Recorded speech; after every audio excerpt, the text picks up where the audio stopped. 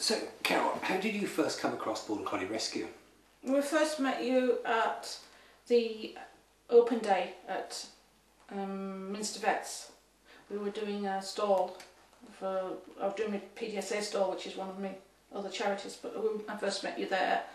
And um, I knew my husband was always wanted to work with them, so it was an opportunity to sort of get involved. Brian's uh, a joiner, but he used to keep, he used to be involved in farming himself, didn't he? So he- at His some parents had a farm um, not far from, well, about 12 miles outside York and towards Tadcaster, far side of Tadcaster. And it's, they were farmers all their lives. And um, he used to run with the dogs then. And so he was quite used to them and loved them. point, so he's always had an interest. in He's border always collies. had an interest in border collies. I've always had them. And how are you finding it working here? I'm enjoying it at the moment. I didn't know. I didn't think. I didn't think I'd get involved um, myself. I thought it'd just be Brian to come down and do different things. But yeah, I'm enjoying it. Um, And do you think Brian's enjoying it? He's a bit camera shy, so he's not here with us. No. uh, yes, he is doing. His, um, he may be doing sort of, shall we say, busman's holiday at the moment, but he knows that he'll be. He's watching the dogs as well and getting used to them again. I think. Yeah, good.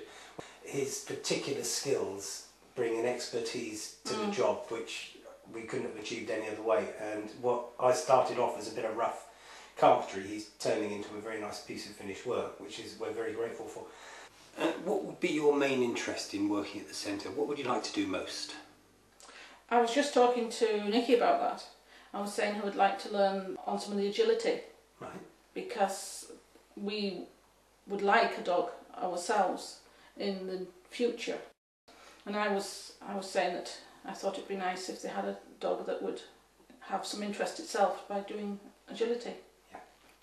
You say you don't have a dog at the moment. Do you and Brian both work full time? Yes, So that's the reason you haven't got a dog. that's right. We wouldn't have a dog when unless we could. I could take it possibly to work now, but it's not fair on the dog just to lie there all day, unless it was a little dog that was sort of not interested and that's all it did. But a proper border collie doesn't deserve to lie about all day. It needs to work and it needs to have some interest. So until we can give it that attention, we don't believe it's right to have a dog.